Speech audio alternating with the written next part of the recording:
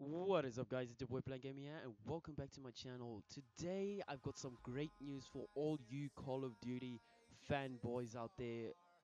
The people are still Call of Duty fans even though that they fucked they fucked up the game with Ghosts and Infinite Warfare and blah blah blah even though I enjoyed the games pretty much. Well guys i got some great news for you call of duty fans out there. Call of duty world at war 2 has just been confirmed by call of duty and activision by themselves and sledgehammer as well. The game is going it's returning back to its old roots and you guys will sure as hell be happy about this. And i repeat it's returning to its old roots.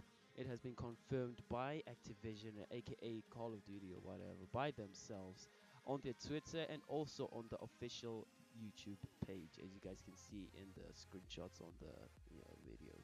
Obviously you can see I don't need to explain myself.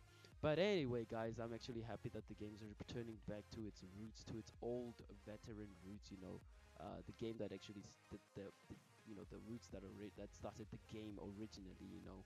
Uh, World at War 2 so you'll be playing as soldiers from the World at War 2 and I guess probably if it goes good and there's no supply drops but I don't think the supply drops will be anything that big but then you know it, it, it fucks up the game. But anyway uh, I think this will be Call of Duty CA if they do it right and if they do it with the right mindset then this will be Call of Duty CA for sure.